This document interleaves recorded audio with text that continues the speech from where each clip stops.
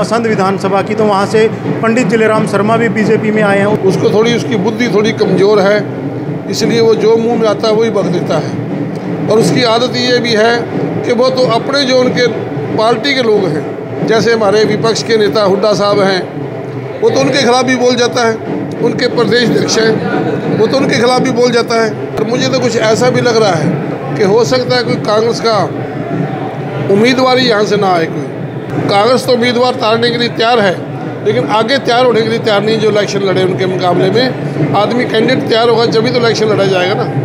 जो आने वाला विधानसभा चुनाव है, सरदार बख्शी सिंह अपनी दावेदारी मजबूती के साथ रखेंगे। मैं हूँ रजत राणा, आप देख रहे हैं वायरल हरियाणा। दोस्तों, लोकसभा चुनाव जो हैं, वो आ चुके हैं, उसके बाद विधानसभा चुनाव भी होने हैं। तो इन सबको लेकर जो सभी पार्टियाँ हैं, वो तैयारियों में लग चुकी हैं। इन्हीं बातों पर चर्चा करने के लिए असंध से पूर्व विधायक बख्शीश सिंह हमारे साथ हैं। सर क्या कुछ कहना चाहेंगे? लोकसभा के चुनाव आ चुके हैं, प्रत्याशी घोषित हो चुके हो चुके हैं करनाल लोकसभा से।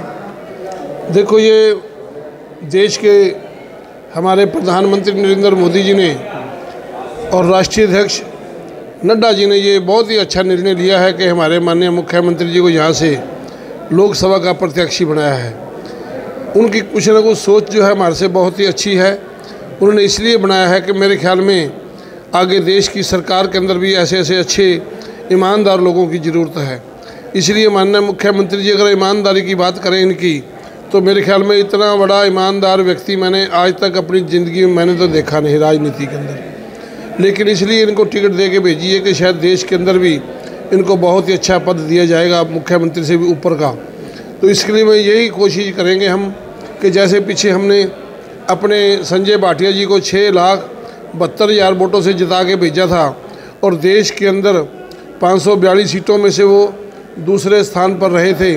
पहला दर्जा गुजरात का था, दूसरा दर्जा हमारे हरियाणा की करनाल सीट का था। और इस बार मुझे ऐसा लग रहा है कि ऐसा माहौल बन रहा है कि मेरे ख्याल में देश के अंदर इनका पहला नंबर आएगा, जीत के अंदर। तो इससे बड़ी उपलब्धि और क्या हो सकती है? वो सिर्फ़ उनकी ईमानदारी है, उनकी नरमपुणा है और उनकी योग्यता है। उन्होंने अपनी कुर्सी के ऊपर बैठ के साढ़े नौ साल जो ईमानदारी से काम किया है, उसके ऊपर कोई भी आदमी दाग नहीं लगा सकता। और मुझे तो कुछ ऐसा भी लग रहा है कि हो सकता है कोई कांग्रेस का उम्मीदवार ही यहाँ से ना आए कोई। ऐसा चर्चाएँ चल रही हैं। ऐसा क्यों लग रहा है सर कि कांग्रेस का? क्योंकि जब चुनाव होता है, सभी पार्टियाँ अपना उम्मीदवार उतारती हैं। क्या कहना चाहेंगे आप जो कह रहे हैं कि कांग्रेस अपना उम्मीदवार ही ना उतारे? कारण क्या है? नहीं कांग्रेस तो उम्मीदवार तारने के लिए तैयार है लेकिन आगे तैयार होने के लिए तैयार नहीं जो इलेक्शन लड़े उनके मुकाबले में। आदमी कैंडिडेट तैयार होगा जभी तो इलेक्शन लड़ा जाएगा ना। तो कोई चुनाव लड़ने के लिए तैयार नहीं मेरे हिसाब से असंभव है कोई तैयार नहीं है। सर और क्या कुछ कहना चाहेंगे जिस प्रकार से जो मुख्यमंत्री हैं नए मुख्यमंत्री बने हैं उसको किस दिशा में देखते हैं? देखो माननीय मुख्यमंत्री जो बने हैं हमारे नायब सैनी जी ये पिछली विधानसभा में मेरे साथी रहे हैं हम इकट्ठे ही एक विधानसभा में काम किया है, वो वहाँ पर सोलह में मंत्री बने थे और मैं वहाँ चीफ पार्लियामेंट सेक्रेटरी बना था। इसलिए वो बड़े ईमानदार हैं, अच्छे छोटे परिवार से बढ़ के आज वहाँ पहुँचे हैं। उन्होंने संगठन के अंदर भी, उन्होंने संगठन के अंदर भी बड़े पुराने समय से उन्हें कार्य किया है और राजनीति के अंदर भी जब वो युवा का संगठन में रह के उन्होंने जिलाध्यक्ष का काम भी किया अम्बाड़ा के अंदर, अपने संगठन के कार्यालय रोहतक के अंदर भी उन्होंने काम किया। इसी तरह से मुख्यमंत्री के बड़े नज़दीक थे इसलिए आज जो बीसी को आज इतना बड़ा पद दिया है, सिर्फ़ यही है कि जो बीसी का जो परिवार है हरियाणा के अंदर, एक बहुत बड़ा परिवार है। इसलिए वो भी भारतीय जनता पार्टी के साथ आज एक कंधे से कंधा मिला के चलेगा और जो रोहतक की सीट में जहाँ पर काफ़ी संख्या में वहाँ पर बीसी परिवार रहता रहता है, वो भारतीय जनता पार्टी को मतदान करेगा। असंत से जो मौजूदा विधायक हैं, उनका एक बयान आया था कि आज तक जो वित्त मंत्री बने हैं, वो दोबारा कभी मुख्यमंत्री नहीं बने, कभी वो जीत दोबारा सत्ता में नहीं आए क्या कहना चाहेंगे? देखो, उसके बारे में मैं कुछ नहीं कहूँगा। वो तो थोड़ा सकना उसकी आदत है। उसको थोड़ी, उसकी बुद्धि थोड़ी कमज़ोर है। इसलिए वो जो मुँह में आता है, वही बक देता है। और उसकी आदत ये भी है कि वो तो अपने जो उनके पार्टी के लोग हैं, जैसे हमारे विपक्ष के नेता हुड्डा साहब हैं वो तो उनके खिलाफ भी बोल जाता है। उनके प्रदेश अध्यक्ष हैं। वो तो उनके खिलाफ भी बोल जाता है।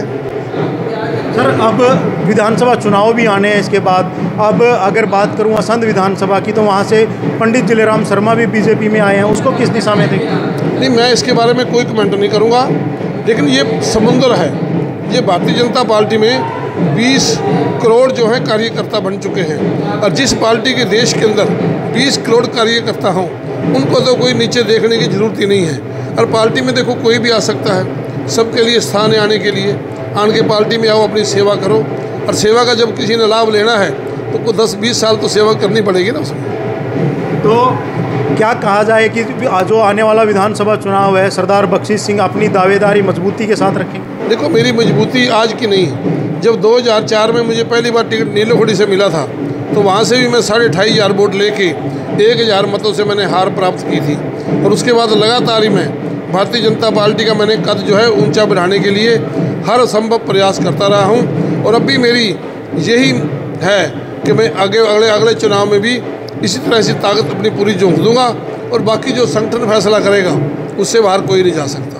तो बिल्कुल देख लीजिए ये थे हमारे साथ असंध से पूर्व विधायक और पूर्व सीपीएस बख्शीश सिंह, इनका साफ़ तौर से कहना है पार्टी जो भी निर्णय लेगी वो पार्टी के साथ है। साथ ही साथ उनका ये भी कहना, उन्होंने हमेशा भारतीय जनता पार्टी की मजबूती के लिए काम किया है और जो पंडित जिलेराम शर्मा जिनका कहना है कि जो भाजपा में आए हैं सेवा करने के लिए कोई भी आ सकता है, बड़ा समुंदर है और इनका साफ़ तौर से ये कहना है कि असंध विधानसभा से उनकी मज़बूत दावेदारी जो है वो वहाँ से बनती है। आप सभी से अपील करूँगा वीडियो को साथ के साथ शेयर ज़रूर करें कमेंट कर अपनी राय भी दें। धन्यवाद।